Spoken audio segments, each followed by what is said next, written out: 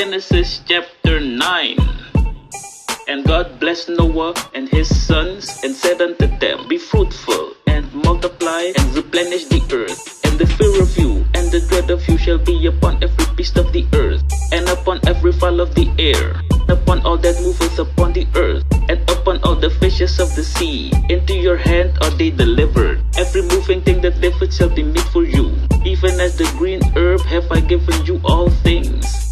But the flesh with the life thereof, which is the blood thereof, shall ye not eat. And surely the blood of your lives will I require. At the hand of every beast will I require it, and at the hand of man. At the hand of every man's brother will I require the life of man. Whoso sheddeth man's blood, by man shall his blood be shed. For in the image of God made he man. And you, be ye fruitful and multiply, bring forth abundantly in the earth and multiply therein. Spake unto Noah and to his sons with him, saying, And I, behold, I establish my covenant with you, and with your seed after you, and with every living creature that is with you, of the fowl, of the cattle, and of every beast of the earth with you, from all that goeth out of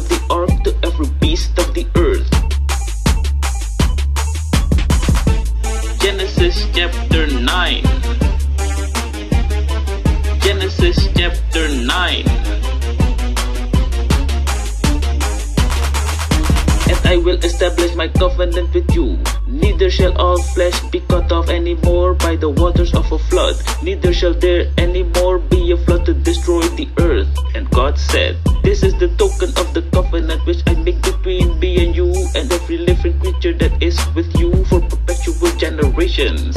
I do set my bow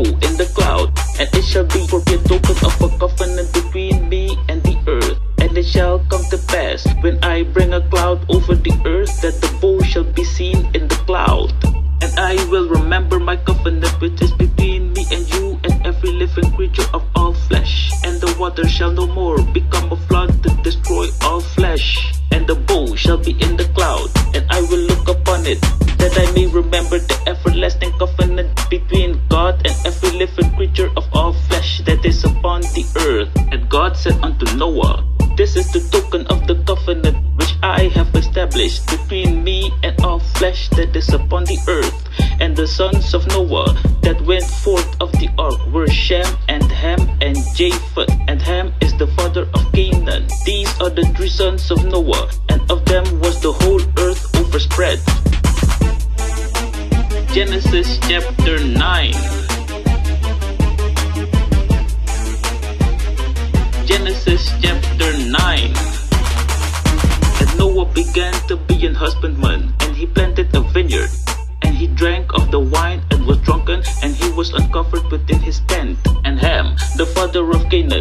The nakedness of his father, and told his two brethren without.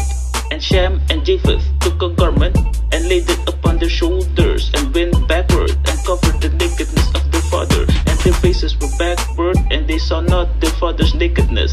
And Noah awoke from his wine, and he knew what his younger son had done unto him. And he said, Cursed is Canaan, a servant of servants shall he be unto his brethren. Blessed is the Lord God of Shem, and Canaan shall be his servant. God shall enlarge Japheth, and he shall dwell in the tents of Shem, and Canaan shall be his servant. And Noah lived after the flood three hundred and fifty years. And all the days of Noah were nine hundred and fifty years, and he died.